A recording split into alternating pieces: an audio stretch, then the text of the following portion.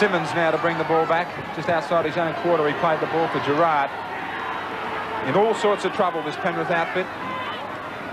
Plenty of time for them left on the clock, but they just haven't shown enough. They have an overlap now through Bradley. Far too much pace for the forwards out there. He comes back in field. He's got Baker and Green. He'll go back to the outside to try and find Baker. Well, he's going to do it all himself. The defence just kept on hanging off.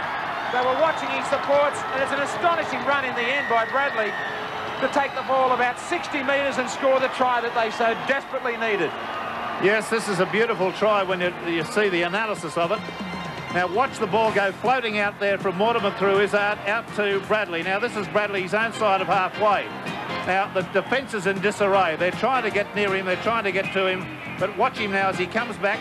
He then stumbles here about this point at the tackle and he considers that he's got the opportunity to go a bit further and eventually he runs out of defenders and he scores what turns out to be a very simple try at the end.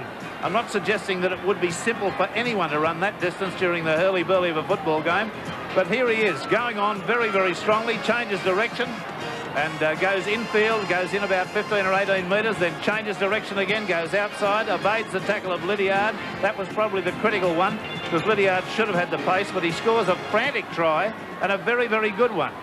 Former Illawarra player, one of the players that uh, Ron Willey insisted that he wanted in his club, along with Kelly and Mortimer, and what good value they've been. Here's the kick at goal from Baker. Baker from wide out. Very important kick. Touch judges haven't moved. Excellent kick from Baker. We really do have a game here, Friday night football.